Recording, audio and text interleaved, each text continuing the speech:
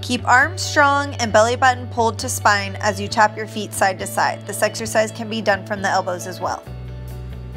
Keep belly button pulled to spine, arms strong as you jump your feet backwards. Make sure you control yourself in a nice long plank position. Alternate side to side. This exercise can also be done from the knees. Keep your hips elevated and make sure you stack your feet in order to maintain a nice long side plank position. Make sure to land softly on the box and control yourself on the roll backwards. This isn't about using momentum or speed, it's about control and power. Keep belly button pulled to spine.